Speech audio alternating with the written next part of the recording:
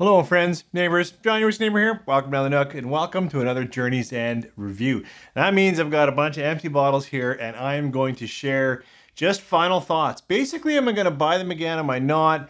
And a couple of quick tasting notes, or if they've changed for me as they've been on the shelf, poured out, poured out with friends, that kind of thing. I got this idea from Roy at Aqvavitae. He's the classic. I uh, should go over there and, and check out his recycled reviews. They're high caliber, far better than mine. But I like this idea. Like now that the bottle's been around, now that I've had it with maybe different foods, or maybe I've had it with a friend or so, has it changed? And, you know, would I buy it again? So buckle up. I'm going to try to get through 18 whiskeys in hopefully under 20 minutes. Three, four.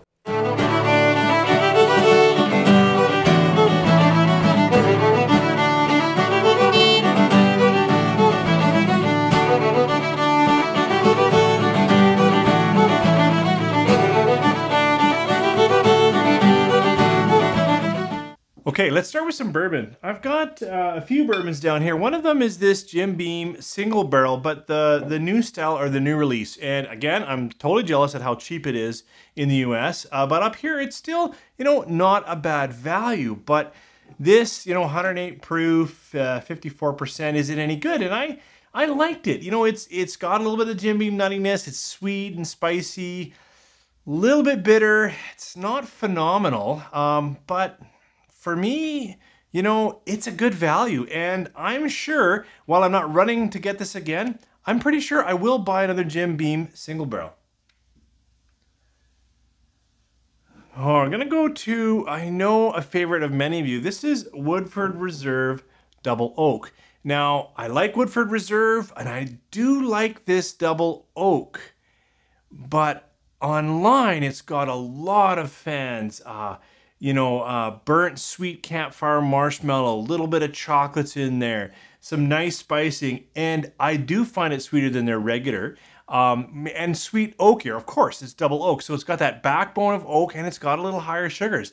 As I was saying, maybe toasted marshmallow. So this is good. It, it is a it is a good bourbon and certainly a good example of how double oak can can of course bring a little more bracing tannic, some some oak notes, but usually a double oak will bring something else secondary, depending on whether it's extra charred or whatever. And this time, for me, it brings a bit of that sweetness, that sweet oak taste to it. So it's good. It's a little overpriced for what it brings for me, and so I'm not going to be replacing this soon. And I know that hurts because there's a lot of tubers out there that this is one of their favorites. This one is a finished bourbon, so it's from Rabbit Hole Distillery. It's a Dareringer. This one is uh, their their bourbon that's been finished in uh, PX sherry casks. And as you'd expect with PX sherry, it is sweet. This one works for me. I've been tasting more and more finished bourbons on my journey, and this one um, didn't change much, but I enjoyed it all the way through. If you're looking for a nice sweet red fruit backed in with that more cinnamon, hearty, stronger bourbon note, this is a pretty good example. In fact, it's a really good example. I uh, haven't seen the price on this, so I can't talk value uh, anytime soon. I've had this open for a while, but I liked it enough that I'm pretty sure I'm gonna replace it or certainly another thing from Rabbit Hole. I like their four grain mash bill. I like what they're doing. So we've got some American whiskeys here. This one is Jack Daniel's Triple Mash. So, uh, you know, this has got their regular uh, Tennessee whiskey, but then it's also got some malt. And I think, does it have some rye? I'm trying to remember what the what the three in here now. I should, of course, know that. Um, yeah, they're rye, they're and they're and they're American malt, and I like this one. I like this more than the Bottled and Bond, which was a shocker last year that that uh, um, it was voted whiskey of the year by Whiskey Advocate. But for me, this was a better pick, and it's still on the shelves and a good value. And and and I think it, it gives it a little bit more malt hardiness to the regular number seven, and it's certainly way more interesting for me than their their regular release. So if I'm gonna look for a little bit more affordable Jack Daniels, I could easily see myself replacing that. I've got a American single malt uh, from Boulder, Colorado, Boulder Spirits. Uh, and this one is their port cask finish. I like almost everything that Boulder puts out, and and I know I'm biased because I know the fellows who've who've brought it in, and they're and they're so passionate about the spirit, but this is a great example of American single malt. For me, it's got you know some of that nutty uh, nuttiness that I get with malts, creaminess a little bit. Uh, but then it's got fresh oak. It's got uh, you know it's got some new oak going on in here, and then of course they've got this port cask, or maybe this one was only port cask. Now that I've said that, but it's got oakiness, which I associate with American single malt, and it's got some sweetness. I would actually say now that I'm thinking about it, um, it really leaned into a sweet sour. And I think another reviewer said this, so I don't know where I'm getting it, but there was like a rhubarb sweetness. And if you're on the prairies, you know what I mean. It's got like that sweetness that you have in rhubarb pie, but it's got that tartness as well. Uh, and it had a little bit of that going on, which was pretty cool. I'm actually not going to buy this particular one again. I like some of the other Boulder Spirits better, uh, but this was certainly a unique ride. I think that takes me into some scotch now. So we'll, we'll go across the pond over to Scotland and uh, start with, uh, I'm going to say a classic 12 year old uh, full sherry dram. This is from Tamdhu. And, and what a beautiful bottle. I just love Tamdhu's bottles. I think they're very cool, very unique, and I recognize them immediately. Um, it does have natural color, aged exclusively in sherry, and um, it's probably chill filtered though at 43, which is too bad, but I like this one. It's one that I've really started to recommend a little bit more to people looking for a sherry dram. And the reason for that is, well, pricing on everything has gone up. This one has gone up less than some others, and I think it's a really nice example of a good sherry malt. Didn't change much. I liked it from Hello, and I'm sure I'll replace it. This one, uh, another one brought in from the PWS import group, uh, it's Kingsbarns. Um, this one is the the, the lowland uh, Balcomie, I think it was, and and uh, fun. It was a it was a fun lowland dram, pretty good, nice flavors, good malts, but uh, but it didn't capture my interest. It was tasty, and I've seen lots of people online talk about how great it is. So I know there are fans out there, but for me. Um, I mean, I do love 46%. I do love sherry drams lately, and so it's good. Uh, but it it um, what was the fruits like in the middle that I was trying to remember why I remember thinking, oh, this is good, but I wanted it to be better. Uh, I'll have to go back and watch. I've, I've shot all of these full videos. This one, um, I don't think I'm going to replace again. It's a good dram and it's affordable these days, but I don't think I'm going to replace it. Oh, this one was a bit of a surprise. In fact, I haven't thought about this in a while. Uh, I just go pull my empties and then and then have to look at it now with you. Huddart by Old Pulteney. Old Pulteney um, has a really nice seaside note to it. To me, a little bit of salt air, uh, a little bit of brine. Um, the the peat in it is is very light, uh, but it's got that that character, that seaside character, and um, this was pretty great. It's 46, which I like. It's it's uh, better than their their, their 12 year old. Um, I, I, this was a good dram, and I'm trying to remember during the journey on this bottle, but, but I, I would certainly recommend giving it a try. Uh, it stayed okay price wise, and it has that nice uh, seaside, light brine, light peat, but you know other other good single malt characters. I, I, this was a gooder for me, and, and I would I would consider buying it again. Oh, I guess I must be moving into more peats. So this is uh, Glenlivet, one of their Nadurra series. This one is a peated cask. I think it was ex-bourbon only, um, you know, 61.5%. I, uh, now that it, the percent just tweaked, it was a bit of a bruiser. Uh, it did have some nice, uh, like I could get some Glenlivet orchard fruits and a little bit of toffees and caramels. Like it clearly felt ex-bourbony. Um, but the the the strength and the peat uh, kind of smacked you around a bit, or it did me. Uh, it, was ashy and sooty and uh, and and and briny, not too briny actually. Now that I'm now that I'm thinking about it, uh, peppery though, spicy. Uh, so it it it was hot, even proof down. It went from you know hot alcohol to hot spicy. That said, I had fun with this bottle. And if I see another Nadurra on the shelf, I saw this one was bottled in 2015. So, you know, they're getting harder to find. Um, I probably would take a chance because I like the series. So, if I see this exact bottle on and it's really gone up in price, I'm not buying it again. But would I try Nadurra? Yeah, I would. Pretty cool series. Going into more peatland here, uh, I've got this bottle, and this particular one was open for a long time. Uh, this is Uigeadail by Ardbeg.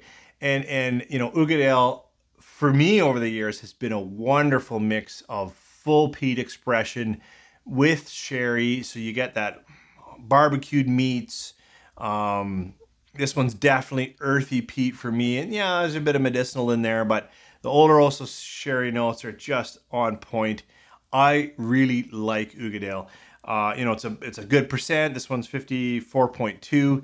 I did a comparison with the 2022, can't remember. Uh, Jesse from Dribs and Drams sent me one and found this older release fruitier uh, and that one more oaky and, and spicier, but I still loved it. And I just checked before I got online because I knew that I was like, oh shoot, like what is the prices happen for Uigeadail? And it's 108 bucks Canadian, which is, it's been kicking around 100 bucks for a long time. Now I haven't bought one in the last couple years, so I'm gonna have to because I really like Uigeadail. And for 108 bucks with Scotch prices today, I think that's a buy. Oh, and we'll end with a, a bit more value uh, Scotch here. This one is Black Bottle. Black Bottle uh, even made it on the uh, online Scotch Whiskey Awards to be in the running for Best Blend. A lot of fans of this bottle out there, and I have to say if you're looking for a little more smoke, a little bit more industrial, kind of slight fossil fuel note uh, with your whiskey, uh, hard to beat. It really is. Very affordable. Sits on the floor at 40%, uh, but a lot of character. I know it's got big fans out there. For me, I'm not replacing this. Uh, I'm going to go over to Irish. I don't have a lot of Irish. Right now, this is uh, Bushmills 10 year Causeway series, the one that's finished in cognac cask. It's a great Irish whiskey. Uh, it's, it's just what I expect from a classic Irish in the terms of floral and fruity, uh, light toffees, like really nice, uh, easy to enjoy. And then it's got a little more uh, character, a little more uh, musk to it because of the uh, finishing in cognac cask. And, and maybe even more different style of sweetness, not just the uh, kind of orchard fruit sweetness, which I get from a lot of Irish and honeys, but here now I can get a little bit of that red, uh, you know, red fruit sweetness. This is a great bottle, just a great bottle, and I will buy it again. Um, I've got this other one, uh, Irish Hyde. I know, uh, I think they sourced their whiskey. This one's stout cask finished. You know, uh, fun. Uh, it was definitely more malty, more creamy. Um, had some of those. Uh, I was gonna say yeasty, but that's not quite right. I'm trying to think of, of the notes that you get with uh, stout finished whiskey, and it had those, and that was great. And and and it's non-chill filtered. And what was the percentage on it? No, 43. That's odd. Non-chill filtered, but 43. Um, but it it while it was fun and I and I enjoyed it, it was easy to drink, and it was creamier a little pricier and, and not a lot of depth. In fact, almost no finish. That was probably my biggest knock on this. Like it would be okay here, and then you'd you'd swallow it away, and you're like, what just happened? And so that to me was enough to say, I'm not going to be buying that again. I guess that's all I have for Irish. I've got an international here. This is a Paul John Bold Edition. Paul John, uh, of course, is an Indian single malt. And uh, this one is their heavily peated, 46%. I think it's even natural non-chill filtered. I should look that up because that's what I believe about Paul John. I like Paul John releases. Uh, they're younger. They do. This one tastes a little grainy, um, and but it's uh, it's got good good peat flavors, and it is affordable. Yes, it's an on-age stamp. If you're looking for a heavy peat, um, you know this one I think I think would do it. It's got a little more roasted notes to it as well. At least I get that. Maybe that's characteristic of Paul John, like roasted uh, walnuts kind of thing. It's got a little bit of that that husk, not husk going on. Uh, and and I have a lot of peat on my shelves right now. I don't know what that is. So I know I'm not buying it soon. But if I was looking for, you know, a tasty single malt, now it does taste young, uh, but it's flavorful. It's got both that juxtaposition going on. I'd consider buying a Paul John again. Uh, I'm going to go over to, oh, I guess Canadian. I set these up weird. And then I'm going to do some ryes. I got a couple of Americans and then a Canadian right at the end. This is my only straight up just Canadian whiskey. It's Wiser's 10 year old. And uh, this one of almost all the bottles, well, no, Uigeadail had a way more journey with, but I, I, had a journey with. When I first opened it up, I was quite disappointed with this 10 year old. It was all the things in Canada, which I know have huge fans out there, very sweet, maple sugar, inoffensive whiskey. Uh, but didn't have any character for me. And I thought, you know, add a few more years, like now 10 years, I, I really want some more oaking. I want some some more finish, that kind of thing.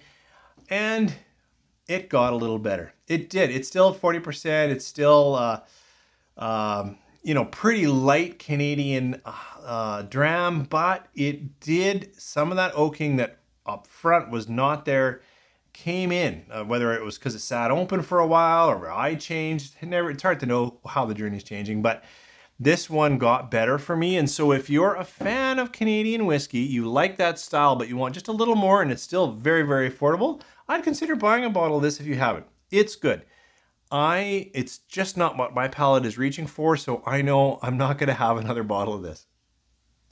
So now, as I said, I got some ryes. I'm going back to American ryes. I don't know why I set these up. Usually I, go uh, Canadian and American ryes stay with bourbons, but this one's a Colorado uh, release, and it's unique because I think did they finish it in aspen cast or they have aspen uh, staves in? I think they put the actually pieces of aspen wood in it. And if you are looking for you know the full rye, grassy, herbaceous rye, you know yes spices, cracked peppers, cinnamons, but I'm going to come back to you know slight pine, uh, herbal note, green green woods um, oh yeah, Aspenwood Staves right on the bottle.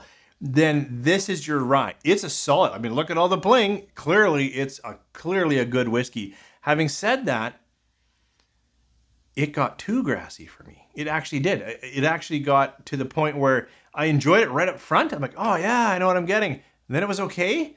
And the last part, I I just didn't reach for it much because maybe maybe my palate shifted, but it was too almost bitter at the end. And so even though it's clearly a bottle of character, I'm not replacing this one. Here's a, a, an American rye. This one's a barely legal rye, Knob Creek. It's the cask strength release. Uh, it was far too pricey when it came out, but thankfully it went way down in price and I was able to get it for a steal. Um, and that made it so that I could just think of the liquid. What do I think of this rye? And I like Knob Creek rye. I know it is a little more bourbon uh, than rye. By that I mean it's uh, I think it's probably 51%. I think I think Knob Creek is a barely legal rye, 51 in the mash bill. Um, but you know it, has got nice cinnamons, uh, red apple flavors, uh, cracked peppers, uh, and not doesn't suffer from the from the over grassy note. And I can I can enjoy a good grassy rye, but it uh, it is it's pretty good stuff. And I, this is long gone. This one was barreled in, in 2009. And, and, and when it comes back on the shelf in my neighborhood, I'm sure it'll be too pricey again. But this was really good. Makes me think I need to, like, I think it's been years since I've had even just a regular Knob Creek rye. I should put that back in rotation and, and uh, compare it with some of my current favorite ryes. So this particular bottle, I'm not going to replace again, but I like Knob Creek rye. So I'm going to wrap up my whiskeys. I know I've talked long and only given some thoughts, buy not buy, with an Alberta Premium Cask release. You know, uh, these are a ton of fun. Uh, I, uh, yeah, they're big and bold and hot, and uh, and everyone is slightly different. Um, this is the 63 and a half, so it's their fourth edition, and and it it was fun. In fact, I I went through this bottle far too quickly for a 63.5% rye. It is a full rye. It's an all rye. It's, uh, I think it's column and pot, but I, shoot, can't remember. They used to do their rye that way. Either way, uh, it's not old. It's not, you know, super aged. Um, and, but it, it still has rye fruitiness. Um, it's got a little bit of, of, of, grain, but it's not nearly down a path of, of, of, of uh, green herbaceous notes. Uh, it's far a uh, little closer, actually, I would say, to bourbon roundness and caramels and sweetness. But, you know, at 63 and a half, it's a kicker. It's got lots of punch, lots of spice, lots of rye hug. Um, this one gave me, I think, again, a bit more fruit, a little closer to the first one. Uh, I found this two and three. Three wasn't bad. Two was I did was too oaky. Uh, I didn't like it that much. Um, but this fourth edition just making sure that I'm absolutely going to buy the fifth and then probably the sixth, unless they absolutely tank the fifth. We'll see. Thanks for joining me here. You know, it's always fun to try to recall. And I and I never set up like of course when I put them down here I look at them and I think it's not that I don't think about them but this is my thoughts as I recall trying to think of my experience, trying to think of what I did. All of these I've reviewed, all of them I have way better notes on and way better comparisons. Usually I'm trying to do it down to another whiskey than this rundown, but this is just up and done. Would I buy it or not? This one? You bet. Thanks for joining me. See you next time.